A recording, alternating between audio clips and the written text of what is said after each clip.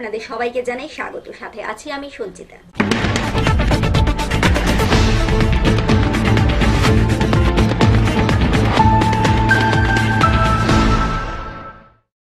এখন খবর বিস্তারিত। মঙ্গলবার টিবিএস সিলেবাসের ইংরেজি ও বাংলা পরীক্ষা সম্পন্ন হয়।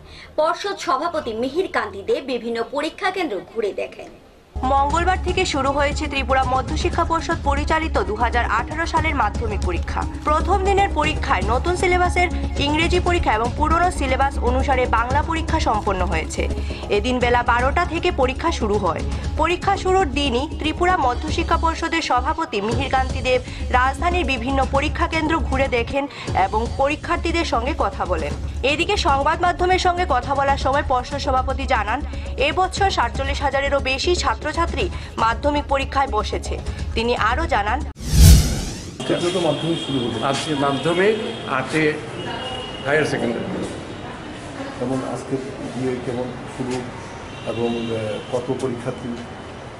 এগুলো তো ফিগার তো মনে নাই যে আমার। টোটাল পরিস্থিতিটা শহরে তো আমি স্কুলে এসেছি।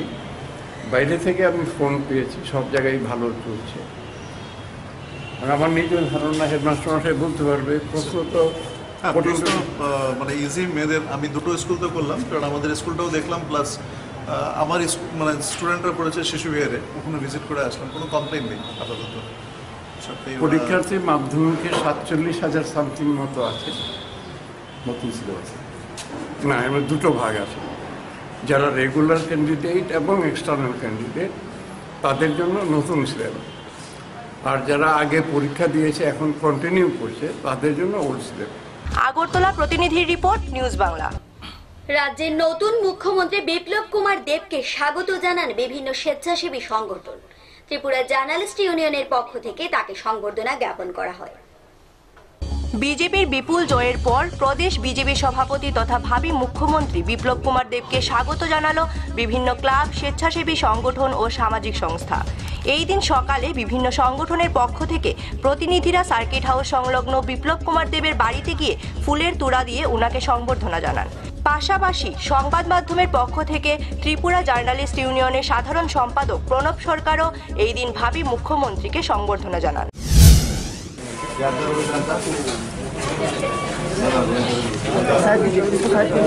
আগরতলা প্রতিনিধি report, news Bangla.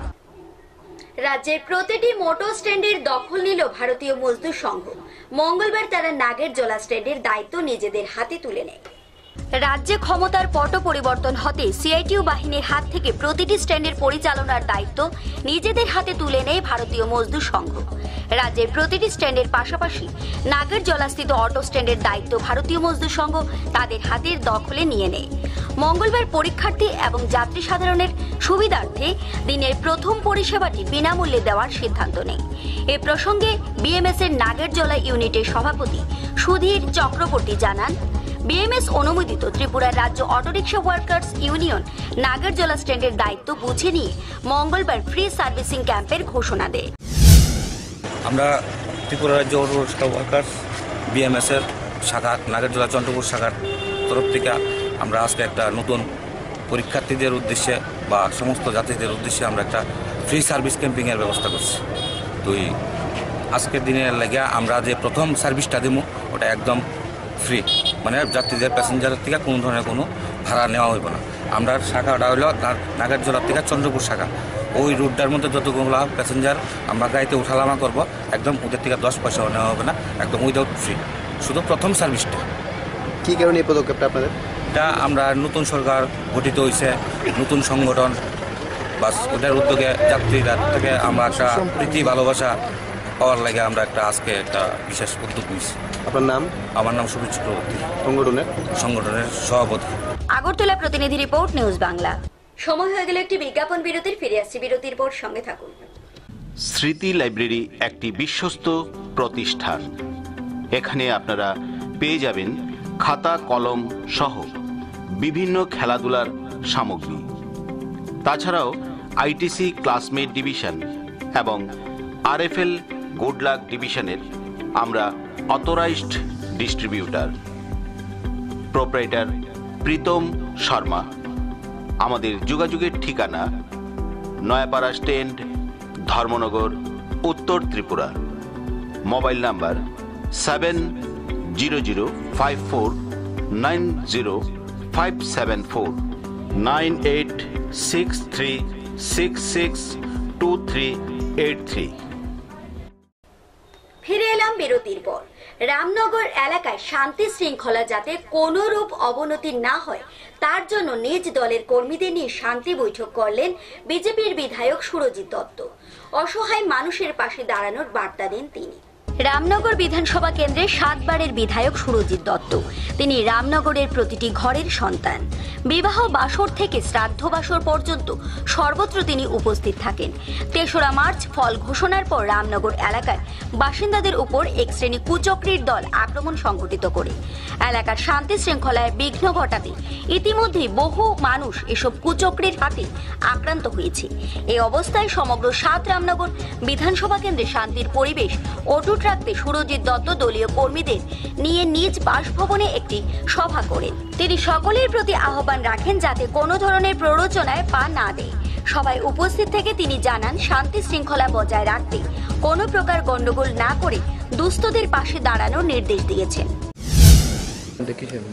Worker meeting. সব শান্তি শৃঙ্খলতা বজায় রাখতো গন্ডগোল করতো না। যারা দুস্থ, তাদের পাশে থাকতো। চাঁদা মাদা তুলতো না সবরে ক্ষমার দৃষ্টিতে দেখতে।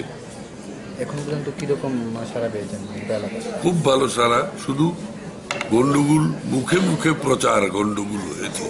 কিন্তু অ্যাকচুয়ালি সতেরোটা গন্ডগোল হয়েছে হয়েছে ছোট্ট ছোট্ট। কিচ্ছু না নাথিং সাতরামনগর একদম নিশ্চুপ টোটালি শান্ত। আগরতলা প্রতিনিধি রিপোর্ট নিউজ বাংলা। আসাম, মণিপুর সীমান্ত, কাছাড় জেলার লক্ষ্মীপুর বিধানসভা কেন্দ্রের জিরিঘাট বাজার এলাকার মানুষ প্রায় ন মাস যাবৎ বিশুদ্ধ পানীয় জল থেকে বঞ্চিত। জনস্বাস্থ্য কারিগরি বিভাগের কাছাড় জেলার একমাত্র প্রকল্প, যেখানে কোনো সরকারি কর্মচারী নেই। স্থানীয় কমিটি দেড় হাজার টাকা দিয়ে একজন কর্মী রেখেছে। ন মাস থেকে বিশুদ্ধ পানীয় জল থেকে বঞ্চিত জিরিঘাট বাজার এলাকার হাজার পরিবার। পানীয় জলের জন্য নদী ও কুয়োর উপরই শুধু ভরসা। জল বহনকারী ব্যক্তি কাজল কির্ণরা জানায়, তার ভার প্রতি দূরত্ব বুঝে দশ থেকে বিশ টাকা নেই। মাস থেকে জল নেই, অথচ জনস্বাস্থ্য কারিগরি বিভাগ কোনো উদ্যোগ গ্রহণ করেনি। তৎকালীন জনস্বাস্থ্য কারিগরি মন্ত্রী দীনেশ প্রসাদ গোয়ালা জিরিঘাটে বিশুদ্ধ পানীয় জলের প্রকল্প স্থাপন করেছিলেন। নদী থেকে জল ওঠানোর জন্য বিদ্যুৎ ট্রান্সফরমারও বসানো হয়। কিন্তু বিদ্যুৎ বিভাগ জলের ট্রান্সফরমার থেকে অতিরিক্ত বিদ্যুৎ সংযোগ দেওয়ার ফলে ট্রান্সফরমারের ক্ষমতা কমে যায়, যার ফলে নদী থেকে জল তুলে টিলার উপর এভাবে জল সরবরাহ করা যাচ্ছে না বলে অভিযোগ। কিন্তু স্থানীয় নাগরিকরা এই যুক্তি মানতে নারাজ। এই প্রকল্পের চারদিকে জঙ্গল ঘিরে রয়েছে। অন্যদিকে বরাদ্দকৃত ভূমি বেদখল হয়ে যাচ্ছে। জিরিঘাট গ্রান্ড বাজারে পিএইচি আজ প্রায় ছয় মাস ছয় মাস থেকে জলের কোনো ব্যবস্থা নেই, কারণ বিদ্যুতের সমস্যা ট্রান্সফরমারের সমস্যা এবং জিরিঘাট পিএইচির কোনো স্টাফ নেই ইয়ে নেই ইভেন ডিপার্টমেন্ট থেকে কেমিক্যাল সাপ্লাইও হয় না কিছুই হয় না। যার ধরুন এই এলাকার মানুষ রূপজনে নানাভাবে ভুগতেছে। আমরা প্রায় ছয় মাস থেকে জিরিঘাট বিশেষ করে জিরিঘাট বাজার অঞ্চলের লোকেরা প্রত্যেক দিন প্রত্যেক দিন নানা আহ, ভাবে নানা কষ্টে পয়সা উপার্জন করে নিজের ডেইলি নিডসের প্রধান ইয়ে জলের জন্য সংঘর্ষ করছেন। বাসী আমাদের এতদ অঞ্চলের বিধায়ক, লক্ষ্মীপুর কনস্টিটিউয়েন্সির বিধায়ক, বরাকের মন্ত্রী মাননীয় শ্রীযুক্ত পরিমল শুক্লবৈদ্য এবং আমাদের মাননীয় সাংসদ মহোদয়া সুস্মিতা দেব মহোদয়কে এবং আমাদের পিএইচই মিনিস্টার এবং বিশেষ করে স্বাস্থ্যমন্ত্রী হিমন্ত বিশ্ব শর্মা সবার কাছে আর্জি জানাচ্ছি, বিনম্র অনুরোধ করছি, আমাদের জিরিঘাটের, জিরিঘাটবাসী যেন জল পান এবং দৈনন্দিন জীবনে একটি বিশেষ দরকারি জিনিস যাতে আমরা পেয়ে যাই, যার দরুন আপনাদের কাছে বিনম্র অনুরোধ রাখছি। বারোগ্রাম প্রতিনিধি report, news Bangla. BJP Kailashahar জেলা কমিটি মঙ্গলবার এক সাংবাদিক সম্মেলনের আয়োজন করে সম্মেলনে উপস্থিত ছিলেন বিজেপি ঊনকোটি জেলা সভাপতি রঞ্জন সিনহা সহ অন্যান্যরা। মঙ্গলবার সন্ধ্যায় কৈলা শহরে বিজেপি ঊনকোটি জেলা কমিটির কার্যালয়ে এক সাংবাদিক সম্মেলন অনুষ্ঠিত হয়। সাংবাদিক সম্মেলনে উপস্থিত ছিলেন বিজেপি ঊনকোটি জেলা কমিটির সভাপতি রঞ্জন সিনহা, বিজেপি নেতা অরূপ দেব চৌধুরী রঞ্জন সিনহা বলেন, ঊনকোটি জেলার কৈলাসহর মহকুমার অধীনে বাহান্ন চণ্ডীপুর এবং তেপ্পান্ন কৈলাসহর কেন্দ্রে বিজেপি প্রার্থীরা জয়লাভ না করায় দলের পক্ষ থেকে নৈতিক পরাজয় স্বীকার করে আরও বলেন যে, জেলা কমিটি কৈলাসহরের উন্নয়নে বিশেষ করে বিমানবন্দর রেল লাইন স্থাপন, সার কারখানা সহ আরও অন্যান্য বিষয়ে সর্বতোভাবে সাহায্য করবে। তাছাড়াও তিনি আরও বলেন ঠিক নির্বাচনোত্তর পর্যালোচনা সভায় বিজেপি দলের পক্ষ থেকে দাবি জানানো হয়েছে, যে কোনো মূল্যে সিপিএম দলের ক্যাডার দ্বারা আক্রান্ত বিজেপি কর্মীদের পরিবারের পক্ষ থেকে যে সকল দোষীদের নামে এফআইআর করা হয়েছে, তাদের অবিলম্বে শাস্তির ব্যবস্থা করতে হবে।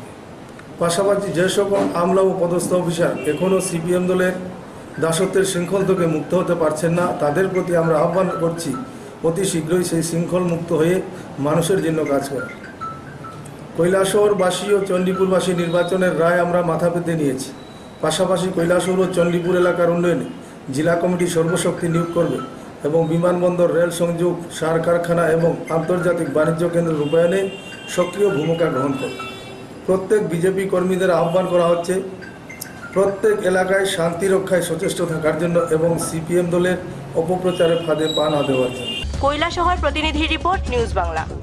এক মহিলার অতর্কিত আক্রমণে আহত বিজেপি নেতা আশিস দেবনাথ মহিলাকে পুলিশ আটক করেছে। এক মহিলার দ্বারা আক্রান্ত হলেন বিজেপি খোয়াই জেলা সহসভাপতি আশিস দেবনাথ। ঘটনাটি ঘটেছে তেলিয়ামুড়া থানাধীন করৈলং এলাকায়। জানা গেছে, বুধবার সকালে আশিস দেবনাথ করৈলং এলাকার জমি সংক্রান্ত ব্যাপারে সুরাহা বের করার জন্য শিশুবিহার এলাকায় গেলে ওই এলাকারই এক মহিলা নমিতা সূত্রধর পেছন দিক থেকে এসে তাকে সজোরে প্রহার করে। এই খবর ছড়িয়ে পড়তে তেলিয়ামুড়া মণ্ডল সভাপতি রণজিৎ সূত্রধর, খোয়াই জেলা তফসিলি মোর্চার সভাপতি, ঘটনাস্থল থেকে তাকে উদ্ধার করে তেলিয়ামুড়া হাসপাতালে নিয়ে আসে। এ ব্যাপারে আশিস দেবনাথ থানায় অভিযোগ জানালে নমিতা সূত্রধরকে পুলিশ আটক করে। এই ঘটনায় এলাকায় তীব্র ক্ষোভ বিরাজ করছে। আমি এবং মন্ডল সভাপতি, মন্ডল কেশিয়ার, আমরা গেছিলাম একটা জায়গা দেখতেছি এমন সময় এক মহিলা নমি সূত্রধর ভদ্রমহিলা সিপিএম করে, পাশাপাশি বিগত দুই মহিলা সিপিএম এর নাম আমাদের আমার একটা কনস্ট্রাকশন ছিল কনস্ট্রাকশন গত প্রায় সাত বছর আগে ভাই করেছে এটা আমি পুরোপুরি এর মতো দিয়েই এগুলি এটা করছে। আজকে যেমন গেছি প্রথম আমার হাতা চালাইছে কাঠের চেলি, এটা দিয়ে ফিট করানো ছিল, এটা দিয়ে আমার হাতে আঘাত করছে। এরপরে দিয়ে বাম হাতে, এরপর হাতে আঘাত করছে লোহাটা আমার শরীরে গিয়া ঢুকছে। এরপর আমি আমরা তারে, বললাম, তাই থানায় গেছে। আমরা শান্তি যে একটা জিনিস শান্তি, সুপ্রীতি আমরা চেষ্টা করছি।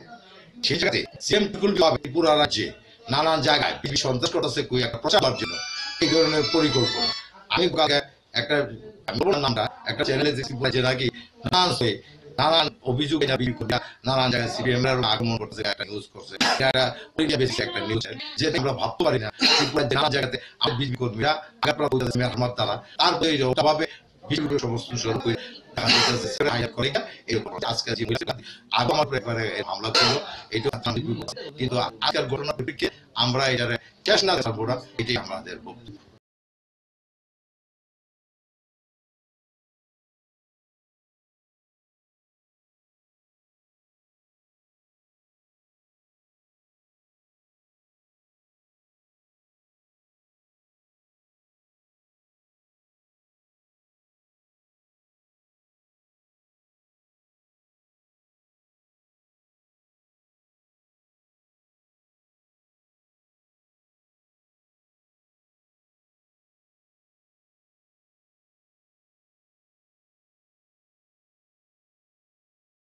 খোয়াই প্রতিনিধি রিপোর্ট, নিউজ বাংলা।